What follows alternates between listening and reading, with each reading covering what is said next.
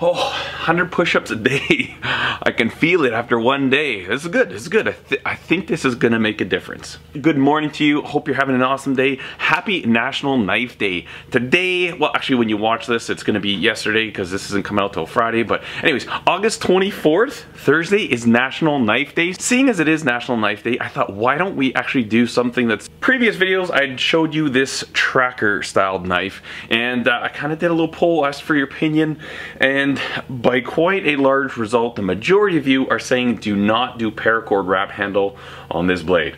A lot of suggestions for multi-segmented, multi-tone type handles, so uh, maybe glue up a couple sections together, and then what I'll have to do is figure out how I'm gonna mount that, and we're gonna get a little bit more into that later.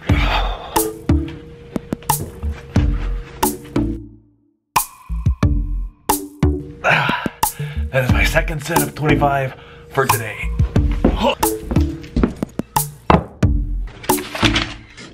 Okay, so I've just spent the last 20 minutes looking at all the different wood selections that I have. I really think this one needs a synthetic handle.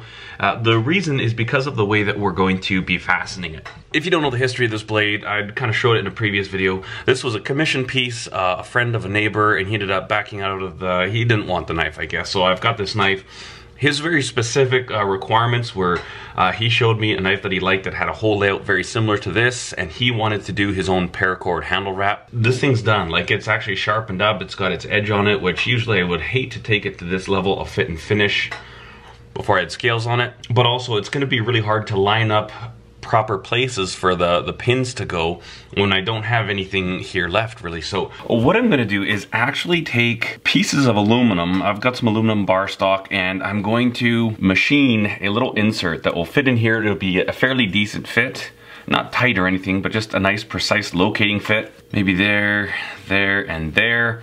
And then I will end up drilling these little tiny spacers I'm gonna make and tap them so that I can screw on some scales. That is the reason that I do believe I'm going to have to use some type of synthetic material because I don't want to be tightening fasteners into wood. I have a lot of really great wood to use, but for this one, I really want it to be uh, a synthetic just because it's stronger. So that's kind of the plan. I'm thinking this handle might come like this. And then we might actually kind of notch out this little detail right here. I don't know why I put that hole there. I did that. I don't think he'd asked for it. But I thought it might be kind of cool if our handle uh, was kind of featured around that. I've got a few ideas how I'm gonna locate this and draw this and we will kind of get to those as we progress in this little project.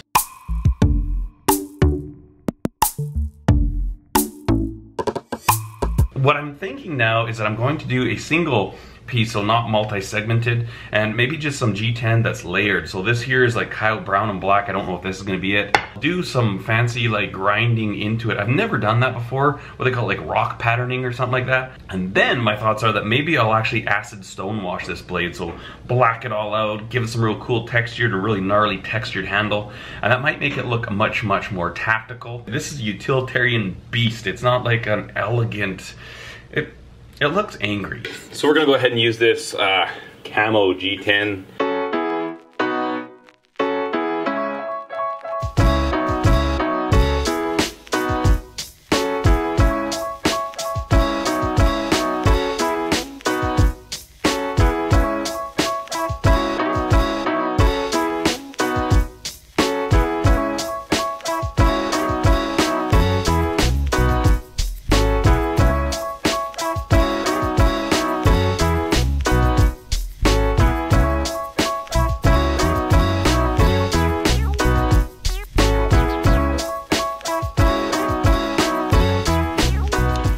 back from the post office, kind of a sad story right here. A larger version of the last ditch necker. Good little blade right there. And the reason it came back is that he had had it engraved. And I guess he wasn't happy with the way that the engraving came out. So he wants me to refinish this. I don't know doesn't look too deep, which is good. That's too bad, really. Interesting how on National Knife Day I get a knife back from a customer that I need to do a little rework on.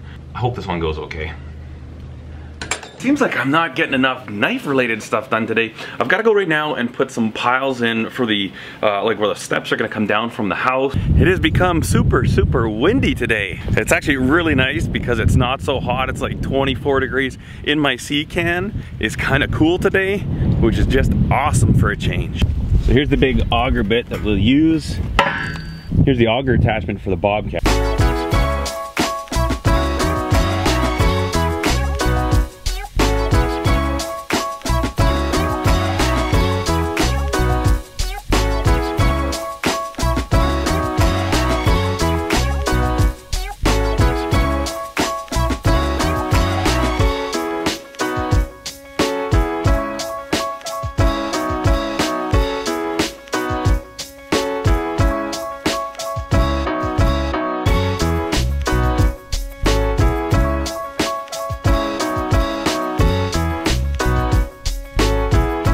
Now there's supposed to be another bolt that puts that auger part onto the extension and uh, I don't know where it is so I'm hoping I have something big enough that will work up at the shop. Okay, I think, I think if I come up to my super duper bolt bin, uh,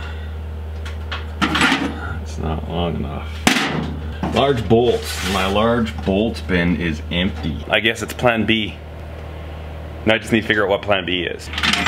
Do you risk it with a half inch? I'm thinking so.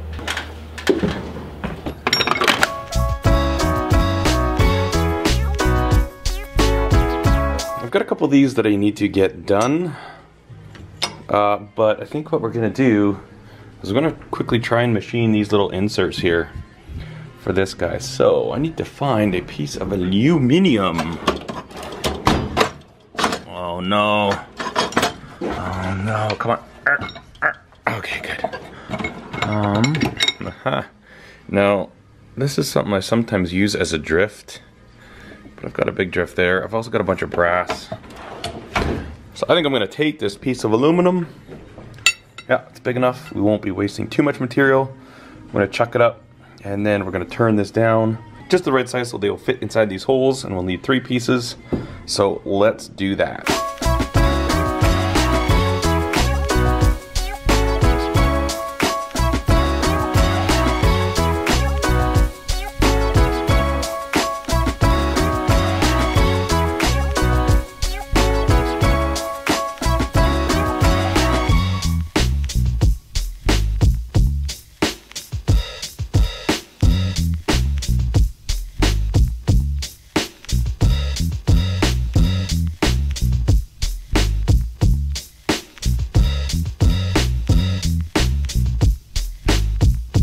This was the first side that I had done. And it's interesting because when I check it to this hole, I mean, it's a pretty nice snug fit. I put in other holes, way too sloppy. So I flipped it over, I turned the other end down, and again, ah, not that great. Look at right here, it's snug. But in, uh, if I check out like this hole, is loose. I'm not sure if you can really see it, there's a little step right there. This is a little bit bigger than this. I think I'm gonna have to make one of the spacers out of this part and another one out of this part. Actually see light through it a little bit. These holes that I've drilled are not perfectly concentric, or piece of aluminum is not perfectly concentric. Something's not perfectly concentric. I think for the most part, this is what we want. So I'm going to have to part off a little piece of this uh, for the one at this end. Like I want these things to be really nice and tight. That'll be good for the end hole. And then I'll have to use a little bit of this thicker portion, probably for this top hole. Part off a little piece like this. We're going to make them one quarter inch thick, I do believe and then uh, we'll drill a hole and tap right through there. But I do believe that is gonna wait for tomorrow. It is, uh, well, it's 6.23 in the evening. I still have to punch a couple of holes for the uh, piles for our house, and we're gonna get going on that tomorrow, as well as a couple other knife-related things. There's one thing I wanted to talk to you about. Since it is National Knife Day, is there actually such a thing as National Knife Day? Is this new? I've never heard of it before now. Blade HQ is going crazy with it, like on their YouTube channel. They've got a really funny video, you should check it out. They're doing like a knife parade. Maybe next year I could have a float in their knife parade that would be awesome. Uh, yeah, I, like, is this a real thing, National Knife Day? I mean, I'm all for it. I'm all about it. I think it's fantastic. Uh, especially, like, I mean, this is kind of a knife making channel, and I'm a knife maker. I'm a knife collector. I love knives. I was gonna do a whole collection, like, show my entire knife collection, but I just, I, I, don't have time to go find all my knives and lay them all out and blah, blah, blah. So I'm just gonna show you the very first knife I ever made, as well as the tattoo I have of that exact knife. Stand by. Oh, she's dusty. This is the first knife that I made. This was a piece of quarter inch thick O1 tool steel, inspired very much by Trolsky, his designs. Uh, it's a really comfortable knife. I've got, I don't know if that's Cocobolo or Bubinga scales, brass pins, and I did this knife entirely with uh, a hacksaw and a file. And that was quite a bevel to put in there. I ended up going for a mirror polish and give it a quick buff, but this was before I had a belt grinder, before I had one drill press. Um, before I had all these tools that I have now, this was the knife that I'd made. And I use this knife a lot. It's been a good knife. Fantastic edge retention. I'm not sure if it's sharp right now. Yeah, that's not too bad. It's still kind of sharp right now, and I like this knife. I take it hunting and camping. This is actually really good for batoning wood. You just smack this and the boards fly apart. And you can see the surface finish there. I didn't, I didn't go as far as I should have to get all these scratch marks out of there.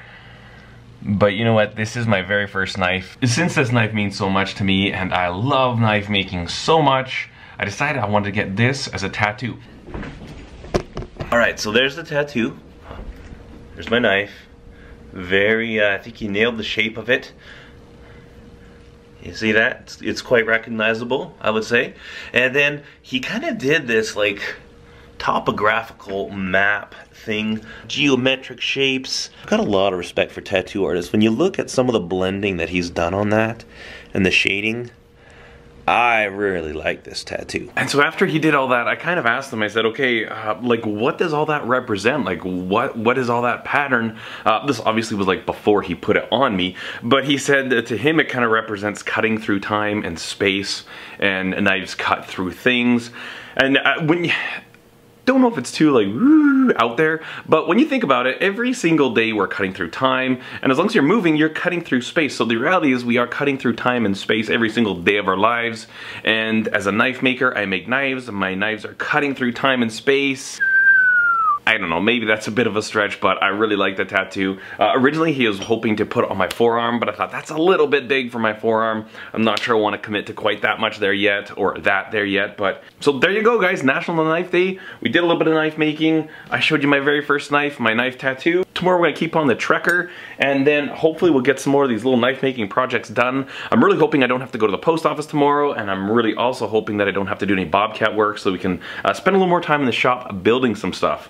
Thank you guys for hanging out with me today. I really appreciate it. If you liked the video, give it a thumbs up. And if you have not subscribed to the channel yet, go ahead and click this little circle, this one right here. That will subscribe you to the channel. It always helps a lot. And then I'll put a couple other videos or playlists up here for you to enjoy. I hope you had an awesome day, guys. National Knife Day. Woohoo! Thanks for watching. Cheers.